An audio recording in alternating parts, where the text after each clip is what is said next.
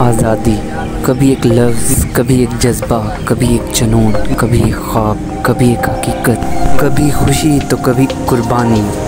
एक अलग मुल्क, जिसकी एक अलग है कहानी।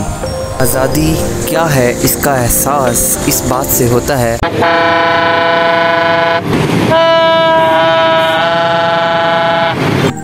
आपका दिल चाहे आप खुल के खुश हो सकते हैं, मुस्कुरा सकते हैं अपनों में बैठ सकते हैं, गा सकते हैं, नाच सकते हैं, जो दिल चाहे कर सकते हैं और सबसे बढ़कर अपने रब की इबादत कर सकते हैं।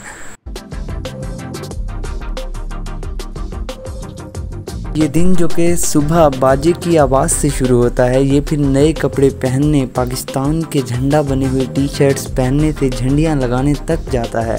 फिर उसके बाद शाम में अक्सर फैमिलीज़ घूमने की तरफ़ जाती हैं। ये दिन सिर्फ़ एक दिन नहीं है, ये दिन एक जज्बा है, एक जोश है, एक जुनून है। इस दिन की अहमियत का अंदाज़ा आप उनसे पूछ सकते हैं जो आज़ाद नहीं हैं।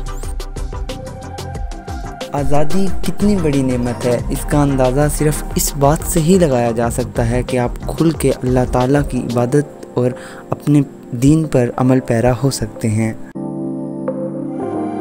तो इस दिन का अंदाज़ा लगाने के लिए आप कुछ इस तरह कर सकते हैं कि कुछ परिंदे आज़ाद करवा दें और उनकी खुशी देखें कि आज़ादी के वक्त वो कितने खुश होते हैं। पिंजरे में रहना और आज़ादी में रहना बहुत फ़र्क की बात है। आपके पास खुला आसमान होता है, आप उड़ सकते हैं। आप रात सुकून से सोते हैं, सुबह अपनी मर्ज़ी से जागते हैं।